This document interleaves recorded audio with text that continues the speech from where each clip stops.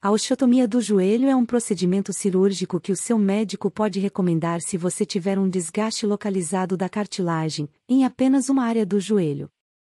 A osteotomia pode ser realizada em combinação com outros tipos de cirurgia no joelho, como a artroscopia para tratar a cartilagem ou menisco, se a sua perna estiver desalinhada. O procedimento envolve a remoção ou adição de uma cunha de osso na tíbia, tíbia, ou na coxa, fêmur, para ajudar a deslocar o peso do corpo para fora da parte danificada da articulação do joelho. Normalmente utilizamos uma placa metálica e parafusos para estabilizar o osso.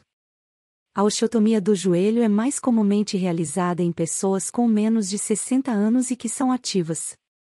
Muitas pessoas que se submetem a esse procedimento podem precisar de uma artroplastia total do joelho, prótese, geralmente cerca de 10 a 15 anos após a osteotomia do joelho.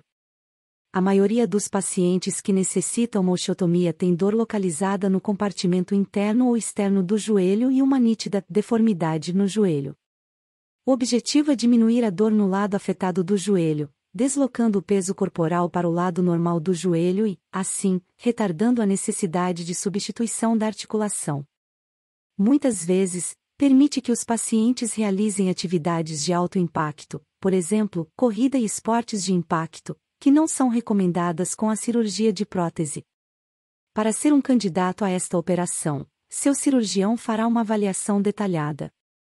Isso inclui verificar a estabilidade ligamentar, confirmar uma amplitude de movimento adequada da articulação do joelho e não haver um desgaste importante em outras partes do joelho. Antes de se submeter a esta cirurgia, você terá que fazer imagens do joelho para avaliar o grau de artrite. Isso incluirá radiografias que mostrarão o estreitamento do compartimento afetado do joelho, bem como radiografias especializadas, panorâmica de membros inferiores, que tiram uma foto da articulação do quadril até a articulação do tornozelo, ou seja, todo o comprimento do seu membro inferior. A partir disso, seu cirurgião será capaz de prever onde atualmente seu joelho está suportando a maior parte do peso do seu corpo e como realinhar sua perna de forma adequada para obter um resultado bem-sucedido. É provável que você também faça uma ressonância magnética que permitirá uma avaliação precisa da cartilagem remanescente em toda a articulação do joelho e para avaliar os ligamentos e meniscos. Durante o procedimento você será colocado para dormir, anestesia geral, ou anestesiado da cintura para baixo, raquianestesia.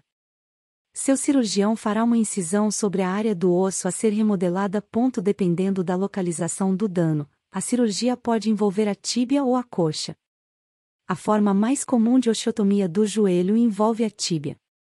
Na osteotomia mais simples do joelho, o cirurgião corta quase todo o osso, abre uma lacuna, preenche-a com enxerto ósseo e fixa o osso no lugar com uma placa e parafusos. Isso é chamado de osteotomia em cunha de abertura. Outra opção é cortar a tíbia ou osso da coxa e, em seguida, remover uma cunha de osso. As bordas cortadas do osso são unidas e mantidas no lugar com ferragens de metal. Isso é chamado de osteotomia em cunha de fechamento. A cirurgia geralmente leva de uma a duas horas. Em caso de dúvidas, não deixe de agendar uma consulta remota por telemedicina,